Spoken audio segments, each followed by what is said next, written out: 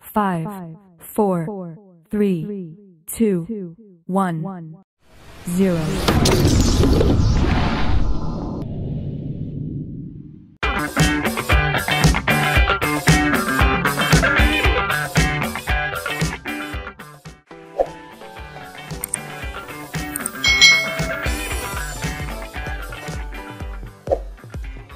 Hi, hi, hai Selamat datang di channel youtube Kak Citra Apa kabar adik-adik semuanya? Kak Citra berharap kalian dalam keadaan yang baik dan sehat ya Apakah kalian siap untuk belajar?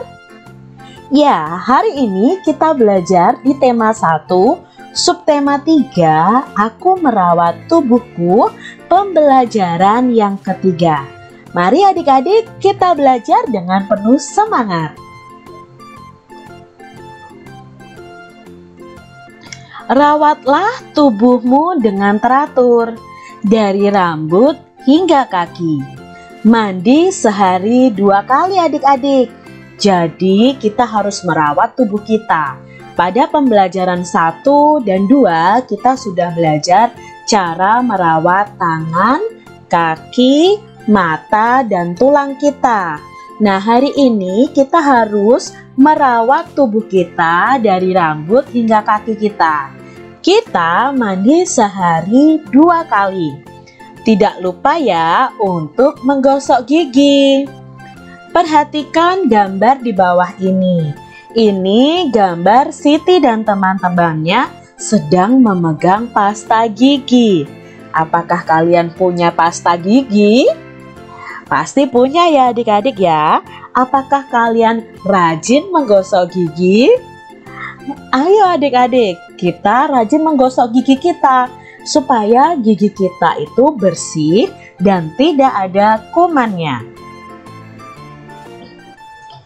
Siti mandi pakai sabun, mencuci rambut pakai sampo. Nah, Siti ini anak yang sangat rajin merawat tubuhnya. Setiap dia mandi, dia memakai sabun. Lalu dia mencuci rambutnya memakai sampo. Menggosok gigi memakai sikat dan pasta gigi. Sabun, sampo, dan sikat gigi adalah benda untuk merawat tubuh kita. Mari kita kumpulkan benda lainnya yang bisa kita gunakan untuk merawat tubuh kita. Lalu bandingkan berapa banyaknya. Nah, di sini Kak Citra akan mengajarkan kepada kalian cara membandingkan banyak benda. Ada banyak benda untuk merawat tubuh. Sabun untuk mandi, sampo untuk mencuci rambut, pasta gigi untuk menyikat gigi, Ayo kita bandingkan banyaknya. Di sini Kak Citra mempunyai sabun. Sabun ini ada dua kelompok. Kelompok yang pertama, sabunnya ada berapa adik-adik? Ya, ada tiga sabun. Lalu kelompok sabun yang kedua ada berapa ya? Ayo kita hitung. Satu, dua, tiga, empat, lima. Ada lima sabun. Jadi, tiga sabun ini jika dibandingkan dengan lima sabun itu lebih sedikit. Jadi, tiga sabun lebih sedikit dari lima sabun. Contoh berikutnya, Kak Citra punya botol shampoo. Nah, sampo yang kelompok pertama ada berapa adik-adik? Coba dihitung. Ya, ada empat sampo. Lalu, kelompok yang kedua ini ada berapa sampo adik-adik? Ya, ada satu sampo. Nah, ayo coba kita bandingkan. Empat sampo itu lebih banyak atau lebih sedikit dari satu sampo? Ya, betul sekali. Empat sampo itu lebih banyak dari satu sampo. Lalu di sini masih ada sampo lagi nih adik-adik. Kak Citra bandingkan dengan jumlah sabun. Di sini ada empat sampo. Lalu sabunnya ada berapa adik-adik? Ya, ada empat sabun. Nah, jika dibandingkan empat sampo dan empat sabun, karena jumlahnya banyak, maka sama banyak. Empat sampo sama banyak empat sabun. Di sini Kak Citra punya 5 botol shampoo dan 3 botol sampo. Nah, 5 botol sampo dan 3 botol sampo ini mau Kak Citra bandingkan. 5 sampo lebih banyak dari 3 sampo. Ya, karena 5 sampo ini lebih banyak adik-adik. Nah, jika dibandingkan lagi, 5 lebih banyak dari 3. Jadi angkanya saja yang Kak Cira bandingkan. 5 lebih banyak dari 3. Sekarang kalau Kak Citra balik, 3 samponya yang di depan, 5 samponya yang di belakang. Maka 3 sampo lebih sedikit dari 5 sampo.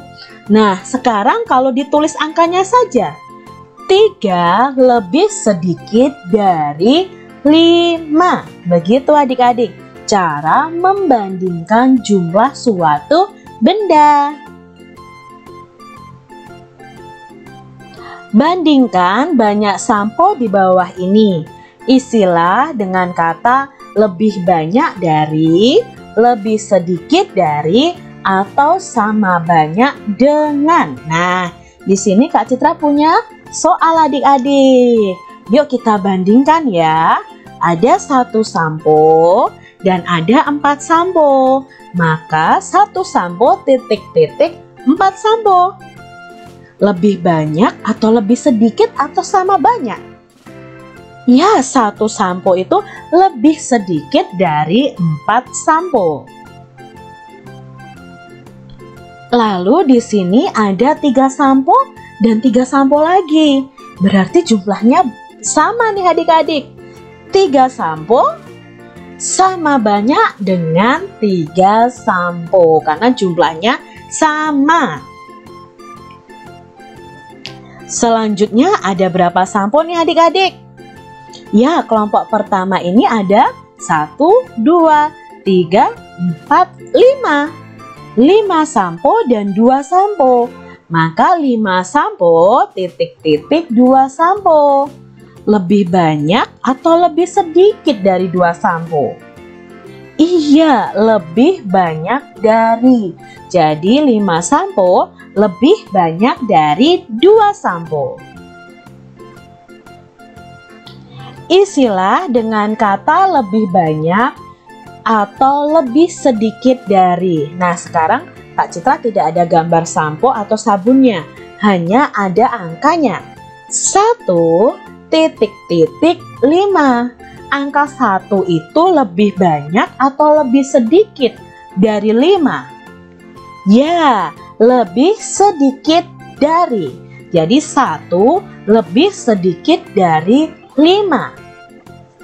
Soal berikutnya, 4 titik-titik 2.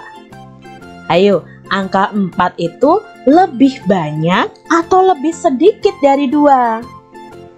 Ya, angka 4 itu lebih banyak dari. Jadi 4 lebih banyak dari 2. Soal berikutnya. 3 titik-titik 4.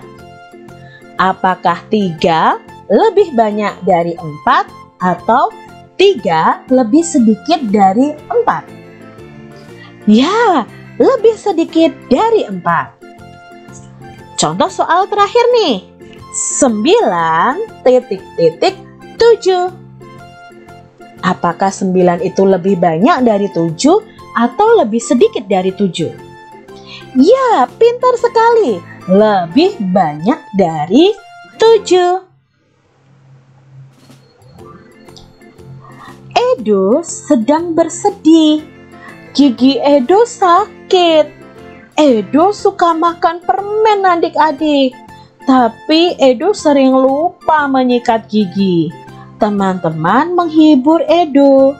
mereka bernyanyi tentang lagu gigi. Nah, adik-adik, apakah kalian suka makan permen? Makan coklat? Nah, kalau kalian lupa gosok gigi, bisa jadi kalian akan seperti Edo, giginya sakit.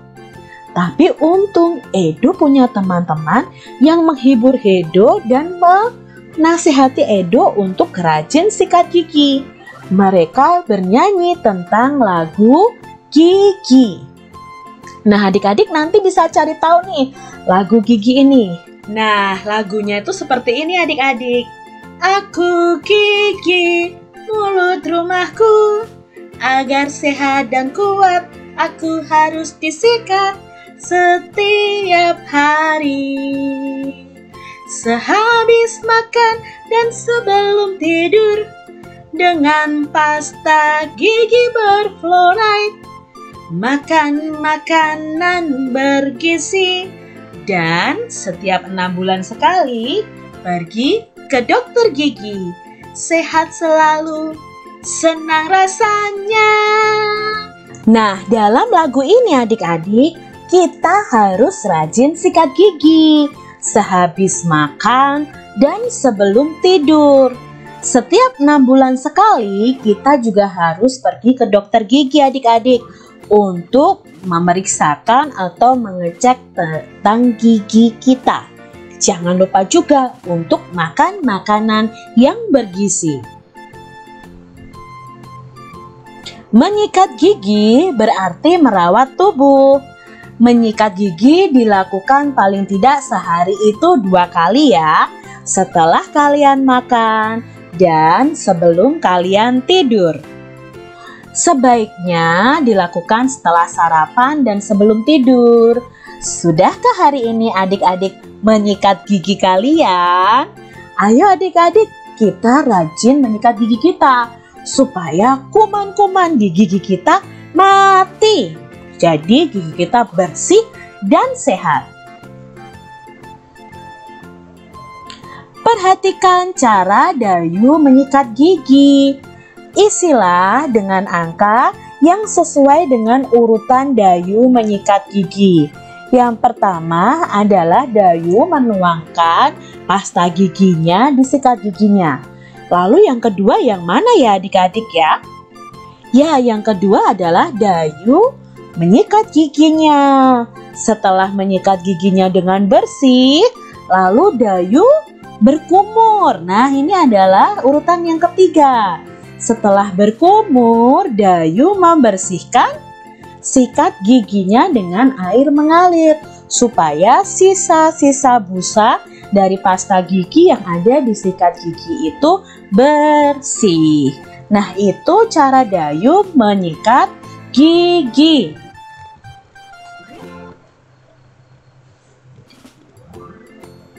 Aturan merawat tubuh. Adik-adik lihat nih dalam gambar ini. Ini adalah cara kita merawat tubuh kita. Perhatikan gambar di samping. Edo sedang mandi dan mencuci rambut.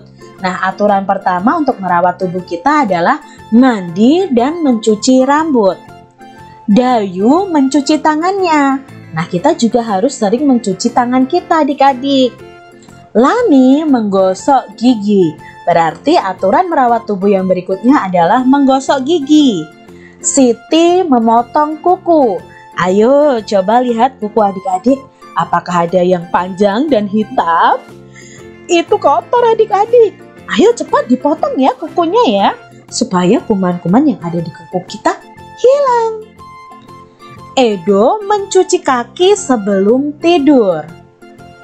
Mereka selalu merawat tubuh jadi adik-adik, coba kalian merawat tubuh kalian dengan ini. Sudahkah kamu merawat tubuhmu? Nanti dipraktekkan ya di rumah kalian masing-masing. Mandi, mencuci rambut, mencuci tangan, menggosok gigi, memotong kuku, mencuci kaki sebelum tidur. Merawat tubuh ada aturannya. Bagaimana cara merawat tubuh? pasangkanlah gambar berikut ini.